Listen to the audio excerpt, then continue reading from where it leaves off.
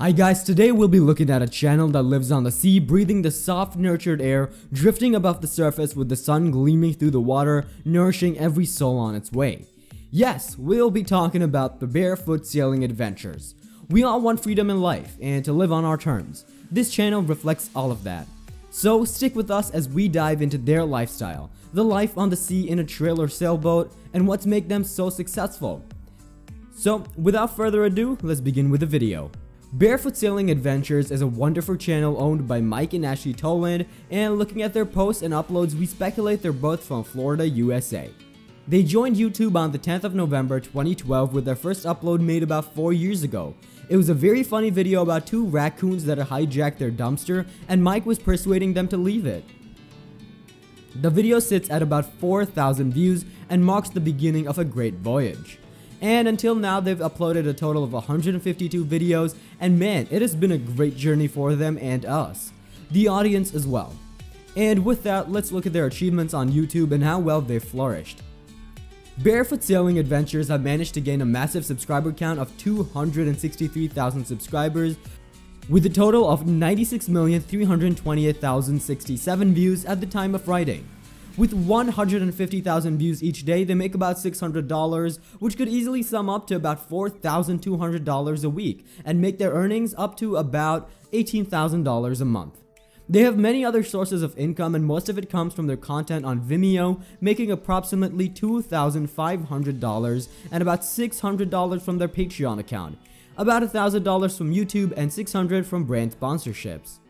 They have an estimated net worth of about $270,000. With their 27-foot trailer sailor Odin 820, which was designed for coastal and inland waterways, they even named their boat and they called it SV Split Personality.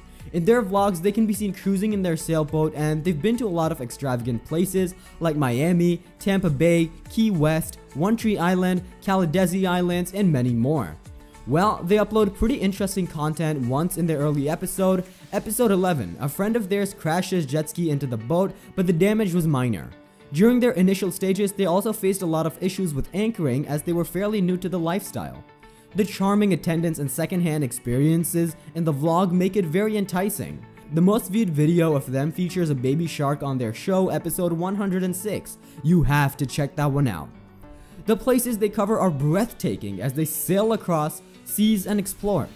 The channel appeals to a lot of middle-aged men as they drool over the sailing lifestyle these creators have adopted. The channel truly is a fairy tale adventure where the protagonist sails across coasts and films them like a movie for us to cherish. The quality of their content is unparalleled as compared to the others in the same niche. They give it all producing quality content knowing exactly what their audience wants. Their channel focuses on a lot of things from sailor lifestyle to a channel that is much free without restrictions. They also have a product merchandise that they sell on their YouTube channel and they feature various sorts of t-shirts, hoodies with high quality fabrics which is a steal. Well, a lot of times people don't see that these lifestyles have their own cons and they spoke in an interview about how they were caught up in big trouble at midnight when they woke up from their sleep where they thought that they were sinking.